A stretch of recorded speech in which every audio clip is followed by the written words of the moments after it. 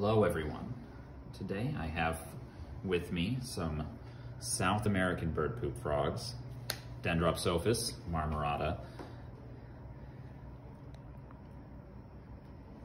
These are part of our 13 days of Halloween, 13 days of horror. Ooh.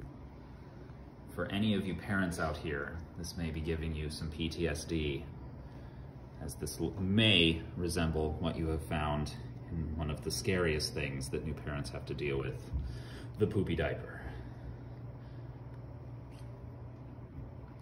These guys are a very fun species. Um,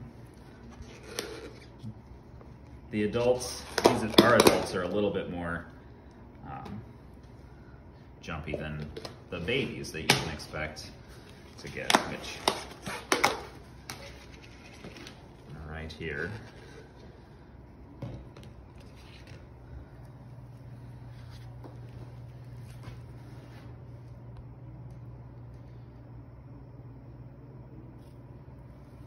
Very, very much like bird poop. Excellent camouflage.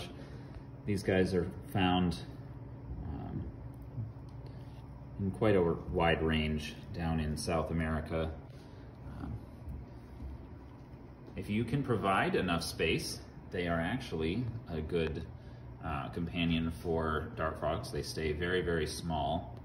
Uh, most of the Dendropsophus genus is similar to this. So you guys can house these in some of your taller tanks.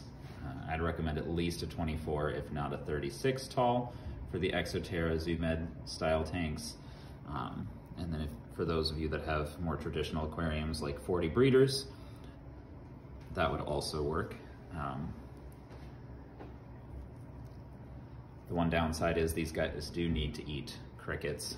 Uh, so if you have any trepidations about feeding crickets in a tank with dart frogs, then I would not recommend it.